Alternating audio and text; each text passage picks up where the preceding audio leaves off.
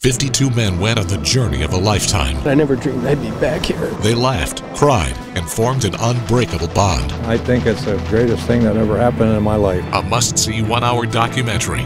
Return to Nam tonight at 6.30.